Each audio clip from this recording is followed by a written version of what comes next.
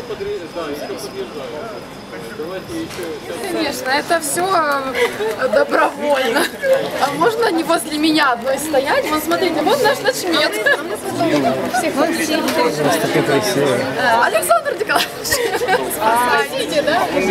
год подряд все молодые врачи, сестры больницы Мещикова делают такой показательный велопробег именно День медицинского работника для того, чтобы всем нашим жителям Днепра, Днепропетровской области показать, что именно физическая нагрузка укрепляет здоровье и продлевает жизнь. Три месяца стараюсь не брать велосипед. Хочу повторить, если бы были цивилизованные велосипедные дорожки, ездил бы каждый день и на работу и с работы.